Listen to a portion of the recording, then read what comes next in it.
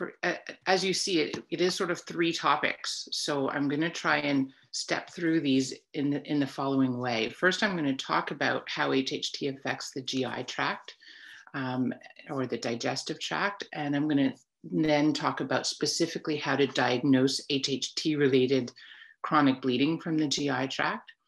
Next, I'll talk about the approach to treatment for GI bleeding and HHT.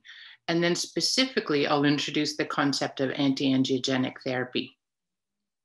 Once I've walked through that, I'll, I'll do a very similar process for the liver. How does it affect um, people with HHT? How do we diagnose it? How do we treat it? And where does anti-angiogenic therapy fit in that, in that paradigm? And then I'm gonna end by talking about the, the new therapies that are being um, developed and what are the next steps in, in the search and research of new therapies. So HHT GI bleeding or gastrointestinal bleeding is typically suspected when people with HHT have an unexplained anemia or iron deficiency, um, or it's out of keeping with their nosebleeds. It most typically affects the upper GI tract, which is really, which is made up of the stomach and the small bowels, and it less commonly affects the lower GI tract or the colon.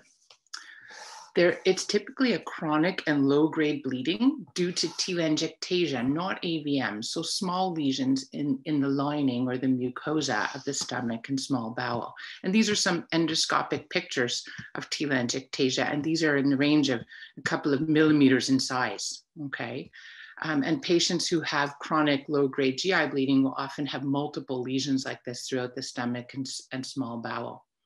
And, and these patients um, rarely have sudden or acute bleeding. It can happen, but it's a rare situation. And, and typically people who have this really don't have any symptoms at all, specifically of bleeding.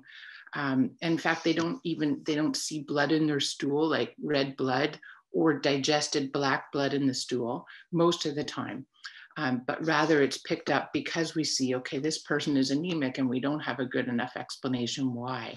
And when that scenario happens in our HHT patients, our, our next step is to plan a diagnostic test. And that diagnostic test is typically going to be an upper GI endoscopy.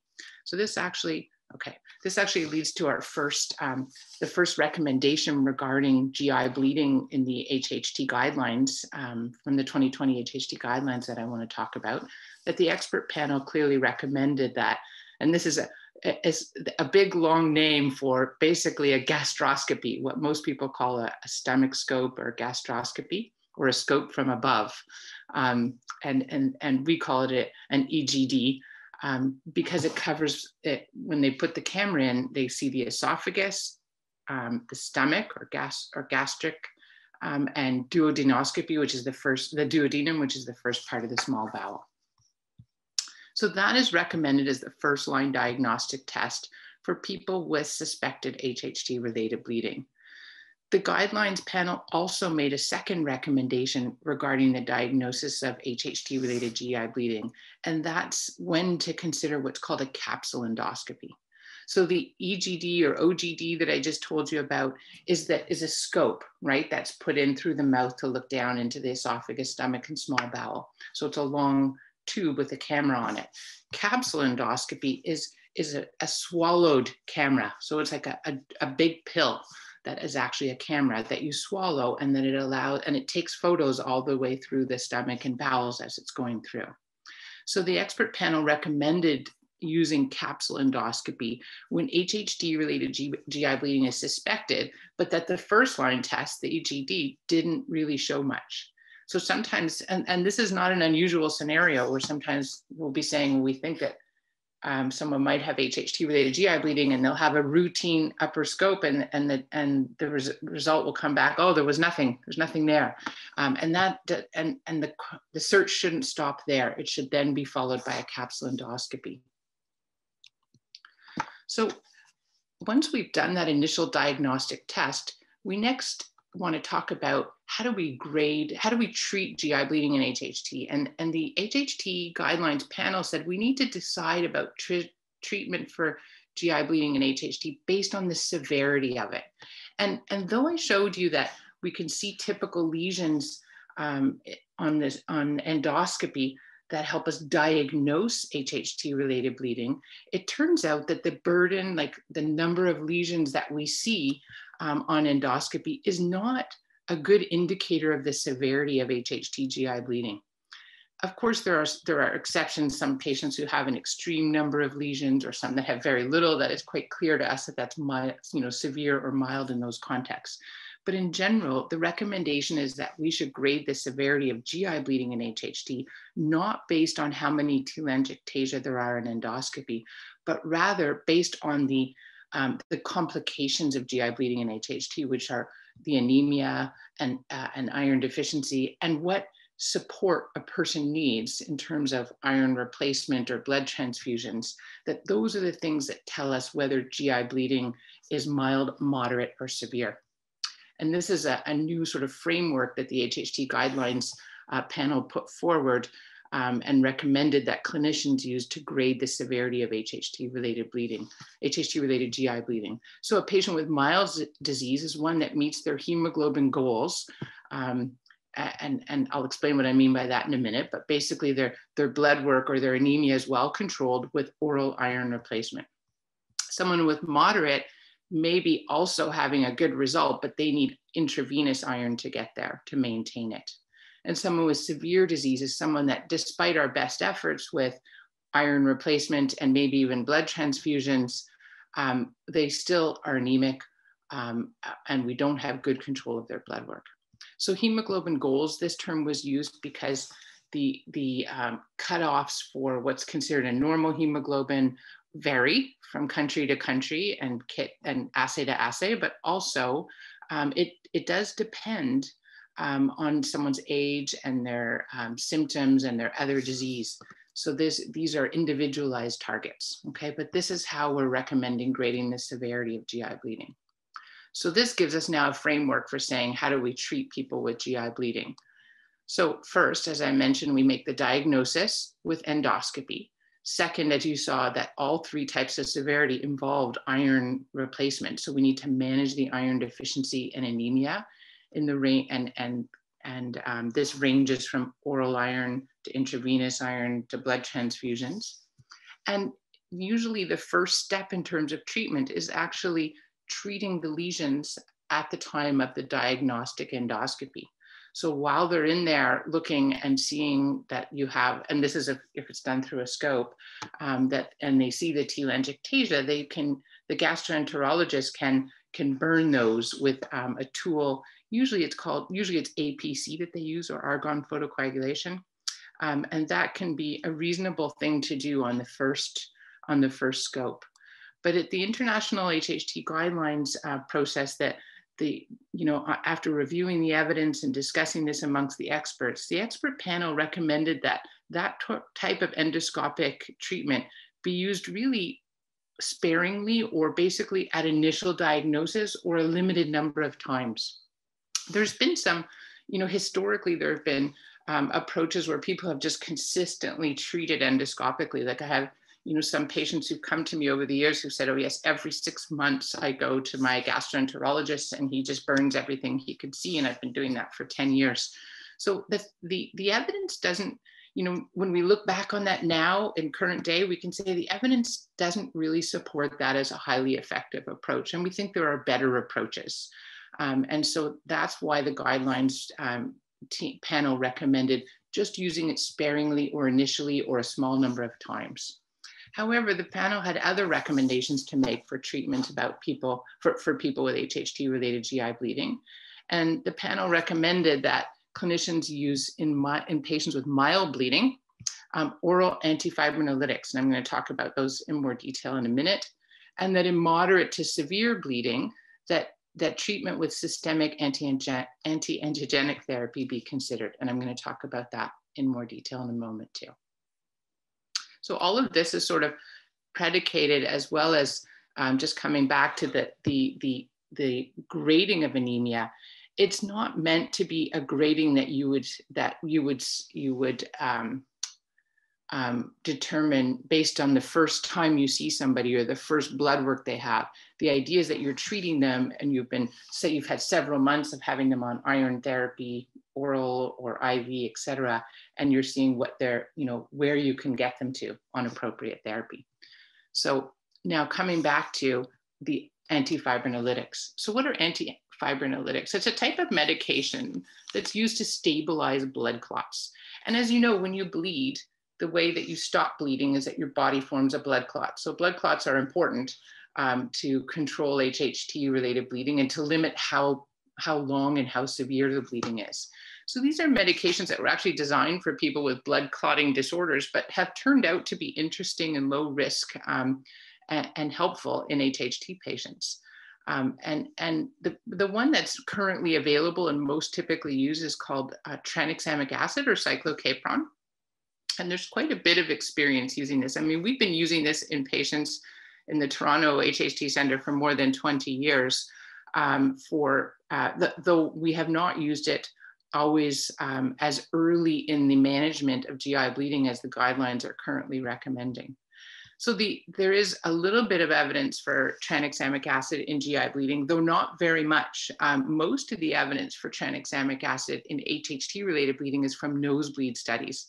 And, and this is something we'll see across the board in, in HHT related bleeding clinical trials is that they will be primarily um, designed to, to, um, to show effectiveness at, at, improving nosebleeds because that's a, something that's more feasible for us to measure and also, you know, because patients can report their nosebleeds, whereas it's hard to report what's happening with the GI bleeding. Um, but also it's a very common symptom in, in HHT, of course, that we're wanting to find effective therapies for. But we think that if tranexamic acid, if a pill or an injection that that's you know reaching all parts of the body, if it works well on the nose, on the, the bleeding from the, the telangiectasia and the mucosa of the nose, then we suspect that it's going to work well on the, the bleeding from the telangiectasia and the mucosa of the GI tract. And, and clinically, that has been the case that typically um, systemic, or meaning drugs that you give um, that, that go everywhere in the body, that work on nosebleeds tend to work on GI bleeding. So the evidence for tranexamic acid comes from some two randomized controlled trials uh, where they measured nosebleeds um, in 135 and 22 patients, and they showed that it improved nosebleeds and anemia. And then a very small series, a uh, retrospective series where um, 10 patients with GI bleeding had a significant clinical improvement um, um, need, with less need for, uh, for medical and endoscopic interventions when they were on oral tranexamic acid. So this is, this is um, most of the, this is the evidence base for the recommendation that the guideline, as well as the incredible, uh, as well as the expert experience of all of the clinicians involved as I mentioned, this is a drug that we've been using a long time in HHT patients. So what about anti-angiogenic therapy? What does that mean? And why is that, why are we, why are we excited about that in HHT? Well, um, AVMs and HHT, we know, and, and Dr. Krings uh, um, started the discussion about this yesterday when he showed some a few slides describing the, the imbalance in blood vessel development in HHT. So AVMs, we think that they form in HHT due to an imbalance in angiogenesis. Angiogenesis is the term for blood vessel development and growth. And we think that, um, you know, as I mentioned to you very uh, yesterday in the overview talk, people with HHT have lots of normal blood vessels, um, but they have some that have turned into malformations. And we think that um, probably that one of the mechanisms for that to happen for an AV, you know, a normal blood vessel to turn into an AVM or for an AVM to form in one place, whereas, you know, so, er, right beside it, there's a normal blood vessel, is that probably there was an injury at that place where the AVM forms. And then when the blood, when the body is trying to, to repair the blood vessels from that injury, there's this imbalance in, in the blood vessel development in the angiogenesis. It's like a dysfunctional repair system and the AVM forms. Okay, so AVMs form due to an imbalance in angiogenesis. And the other thing we've learned in recent years is that there really are a number of molecular pathways involved in this process. And that makes it complicated, but it also makes it kind of interesting because there are a lot of pathways that we could target to try and treat HHT. And there are new medications being developed which can help control these pathways. And some of them have been developed for other diseases, but we're repurposing them for HHT. And some of them are being developed specifically for HHT with the idea of trying to correct this imbalance. So the first type of medication, uh, or the first medication really that, that came out um, of this type, uh, of the anti-angiogenic type um, that was of interest for HHT, targeted a molecule called VEGF, which is part of some of these pathways uh, involved in angiogenesis. And so we call this anti-VEGF therapy. And specifically anti, the anti-VEGF treatment that we have available presently and that we have the most experience with is bevacizumab, also known as Avastin. And I'm going to talk specifically a little bit more about that in a second. But first, I just want to show you how uh, uh, some evidence from a, a, mouse model, from Paul Oh's mouse model um, that they published, their team published in 2014, just to give you a bit of an idea uh, of, of how you know, some of the initial um, animal evidence uh, showed effectiveness of anti-VEGF therapy for NHHT. So when we want to study a new and we want to bring a new drug to people with a disease, we want to first study it in animals. And so we have to first have animal models of that disease. And Paul O has created a, a, a um, one of the very um, um, um one of the very um, useful um, and much used models for HHT in a mouse. So Paulo has a mouse model.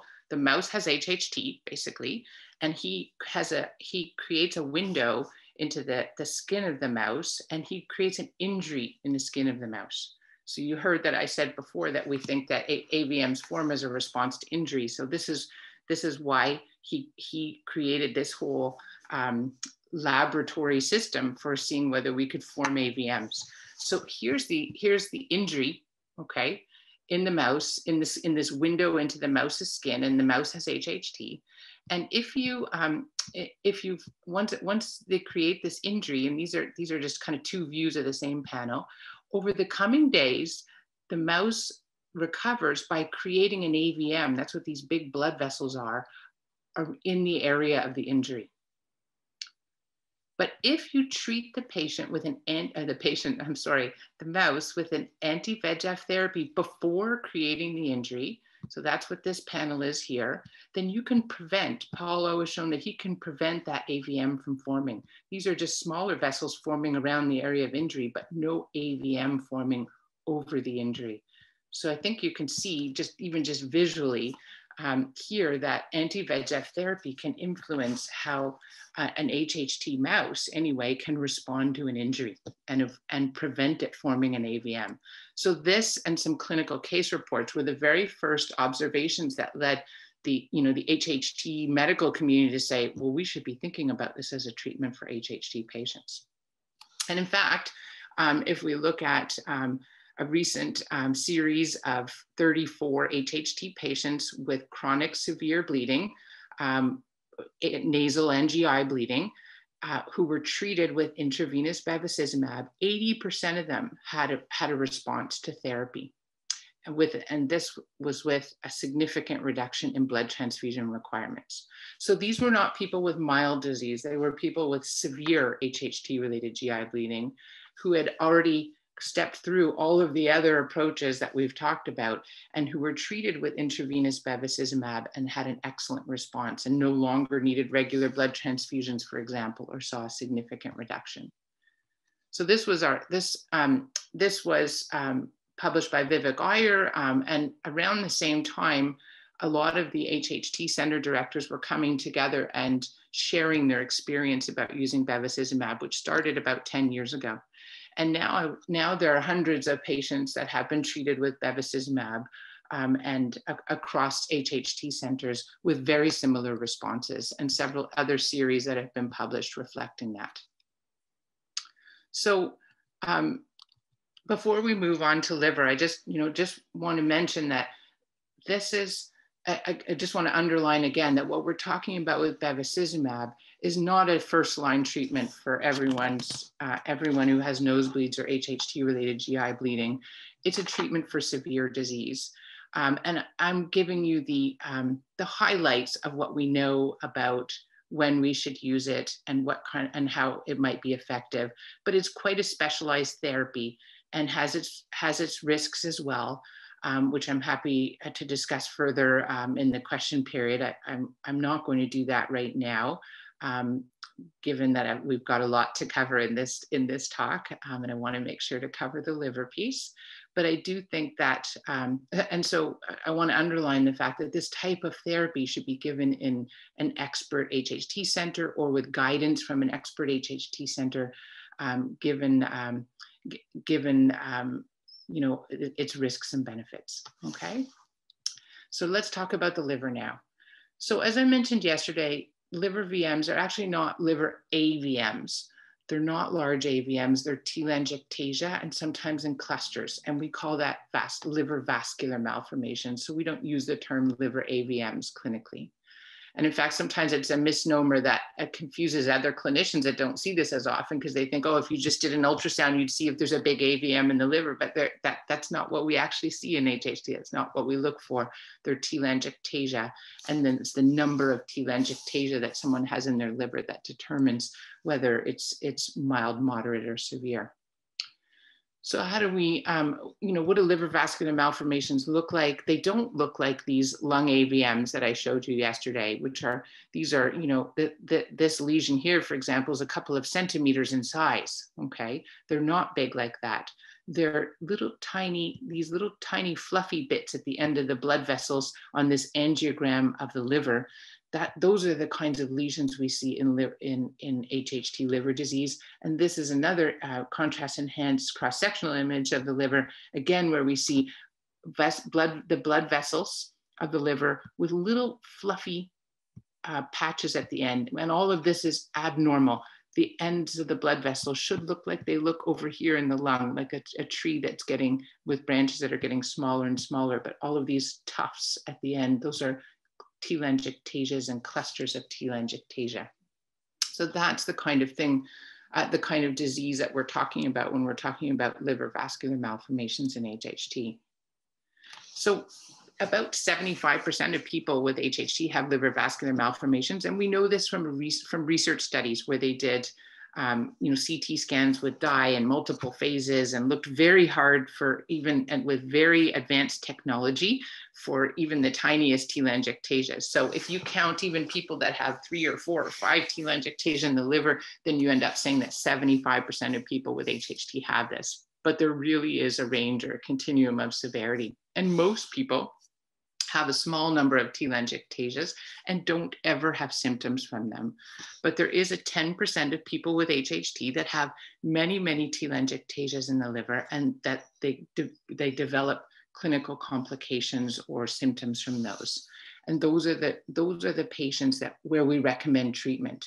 We don't recommend putting the other people who are asymptomatic and have only a small number of telangiectasia on any kind of treatment that might just do them more harm than good. Okay.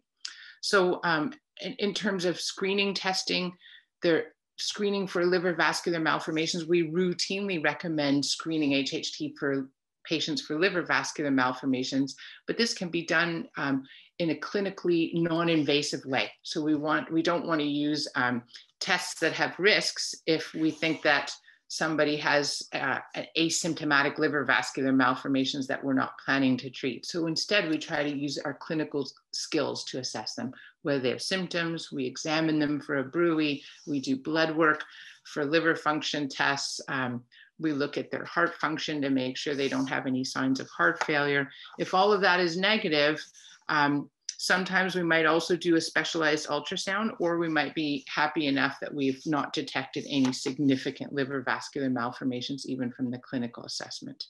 So we do, you know, there's a range of how we can do that clinically. When we do suspect liver vascular malformations though, and we think someone might be having symptoms or complications of it, then we'll wanna confirm that test, uh, that initial screening with either a contrast CT scan or a contrast MRI. So what's the approach to treatment of liver vascular malformations? As I, as I want to emphasize one more time, 90% of people with liver vascular malformations don't need treatment. but there are 10% who have complications or symptoms, and, and, and those can be quite serious and definitely do need treatment.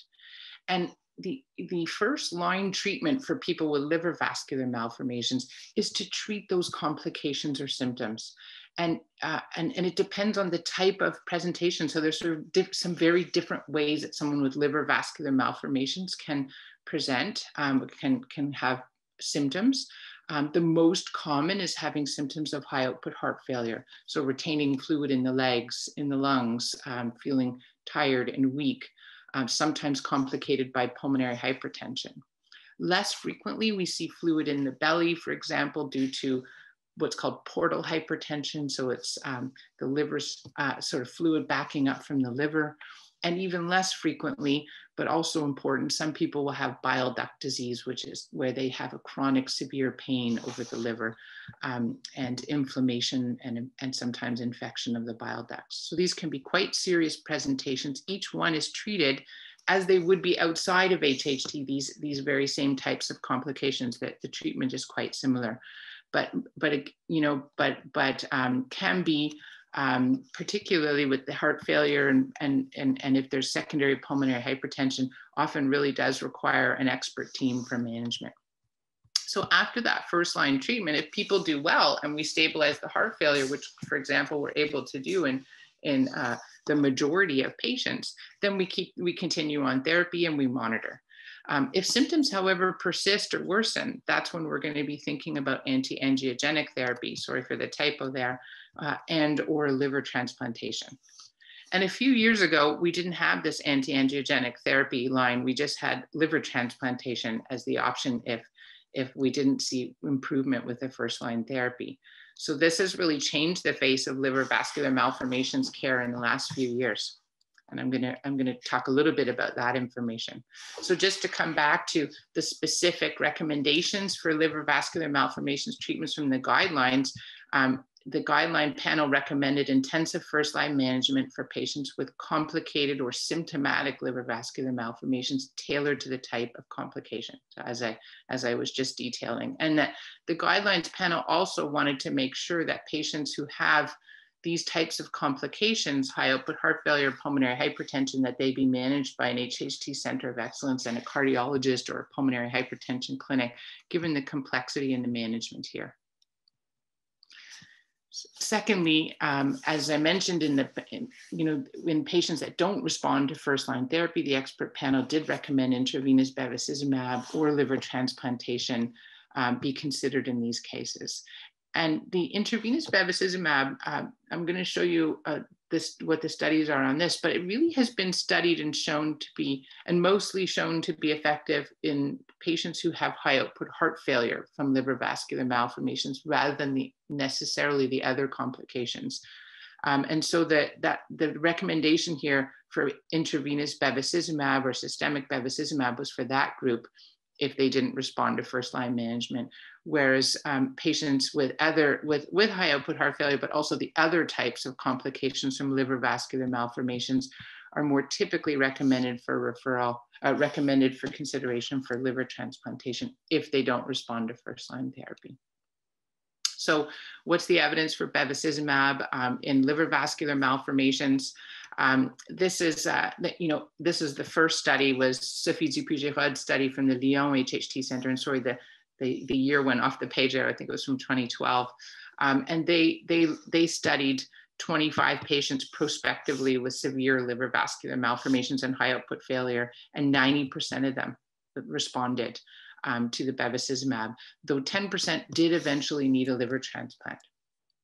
Since that time, there have been a couple of other series of similar size um, uh, showing similar results. So, uh, you know, tip, you know, all of the studies typically agree that there's a very high response with improvement in symptoms, though there is a certain percentage of patients that that recur and that do end up needing, do end up getting referred for liver transplantation.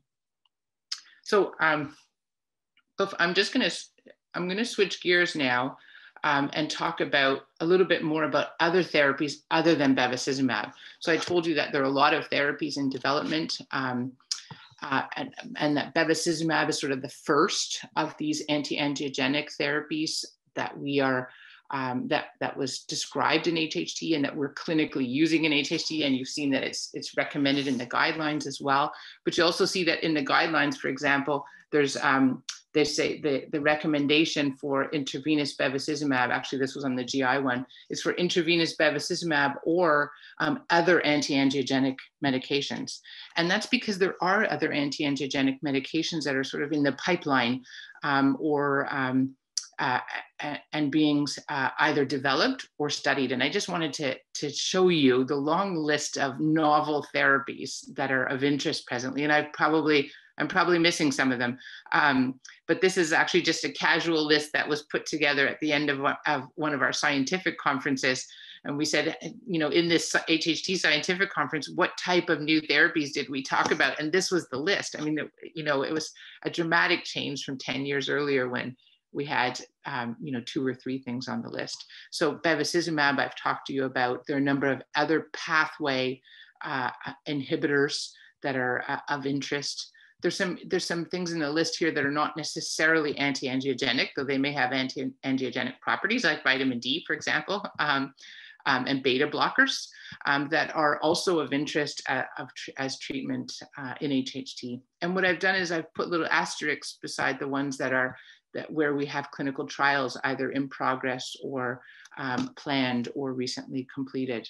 So there, there is um, a lot going on, a lot, um, a lot to be optimistic about in terms of anti-angiogenic and other novel therapies for HHT. And I think those are going to be specifically most important in these patients initially, the patients with severe liver vascular malformations and patients who have chronic, who have moderate to severe chronic HHT related GI bleeding.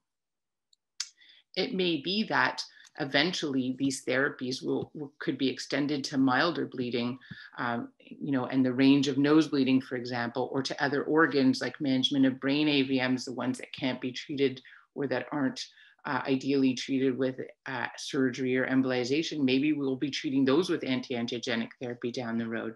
I think there's, you know, all of these things are are being considered and are on our potential, are part of the potential presently, though, we are in a position of needing a lot more research to understand the effectiveness and safety of each of the novel therapies um, and, and, and also developing more novel therapies, but also figuring out as we do our research who is going to best respond. So it may be that there will be certain um, genotypes or certain age groups or certain HHT um, types or um, uh, you know, other medical uh, comorbidities that may determine how somebody responds to a given medication for HHT. So in order to understand that and be able to sort of personalize our approach to, to, um, to HHT treatment, we, we really need a large number of patients. Um, we need a large number of patients in a, in a large registry, a longitudinal registry, and, and that has been started, has been launched in our HHT registry, which uh, we now have several centers who are part of and recruiting for. Um, we also need, of course, clinical trials, um, and we need more basic research to help us understand and develop more new therapies. So I'm going to I'm going to end there, and I'm happy to take questions. Thank you.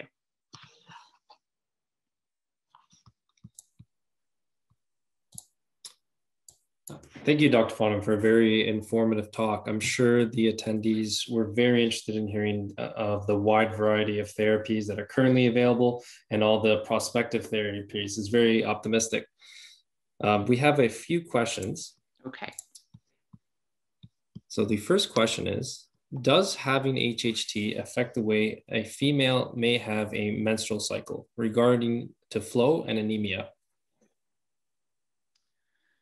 So that's a good question. Um, and maybe Dr. Lausman will, will comment too when she's um, speaking later. Um, but we don't really know how HHT affects menstrual bleeding.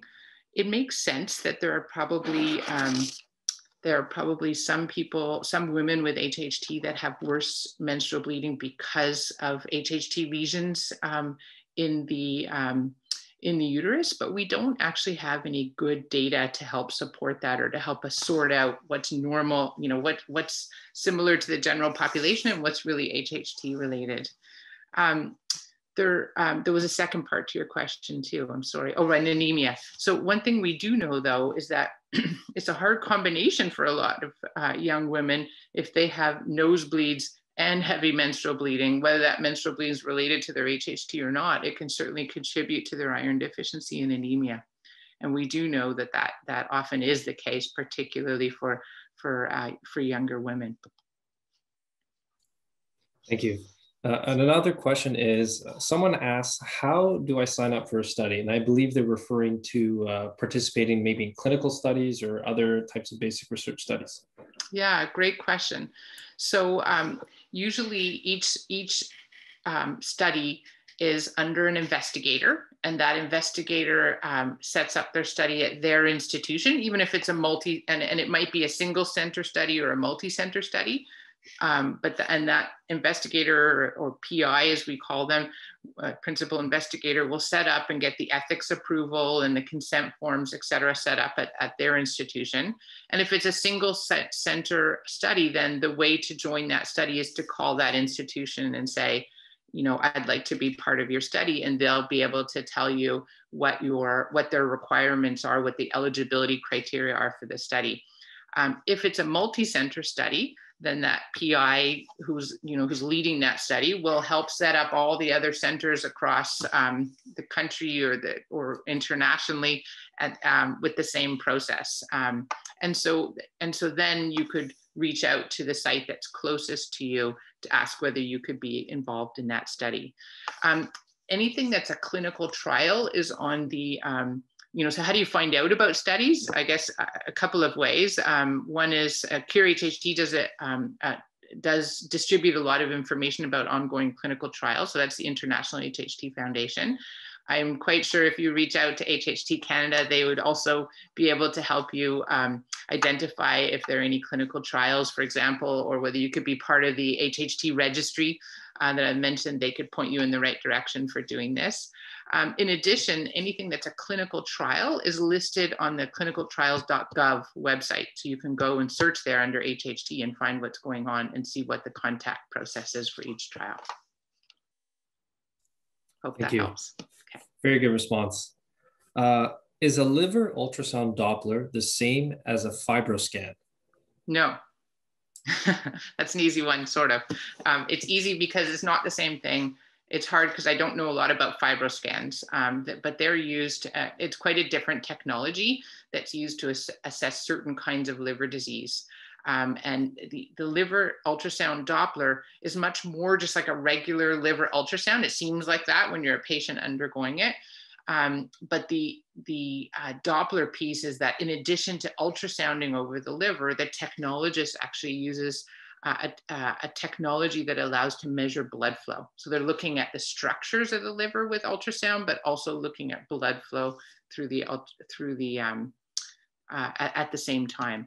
And we have a very um, specific protocol that we've established in some of our HHT centers um, to specifically use that technology to look for liver vascular malformation. So it's not something you can get at an outside um, an outside lab or that most hospitals that are not that don't have an HHT center would would specifically do for um, in the way that we need it to detect liver vascular malformations. It's a specialized study done at an HHT center. Thank you very much. Uh, another question, could radioembolization, for example, Y90 treatment, be applied to liver vascular malformations or excessive GI bleeding? So um, I'm going to talk about embolization in general for liver vascular malformations and GI bleeding rather than this, rather than specific subtypes of that, um, because that's a good question and it's something that I didn't talk about today.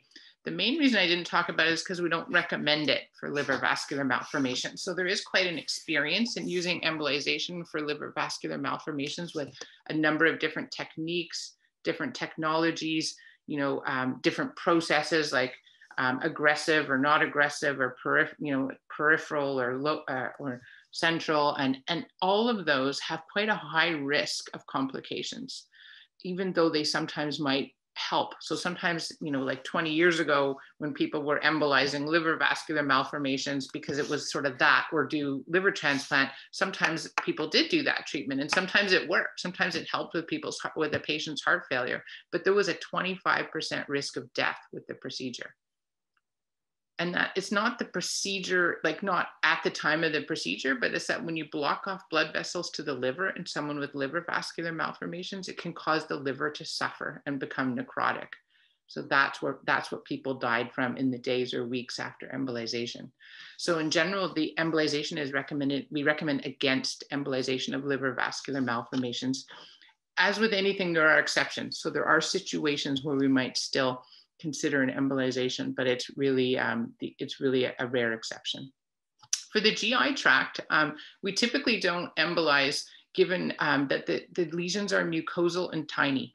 Um, so they are better accessed through the scope um, if we're trying to treat them in, with an interventional approach. But sometimes people have a larger lesion in AVM, and so we access it through the blood vessels and we embolize it. So we do sometimes do that.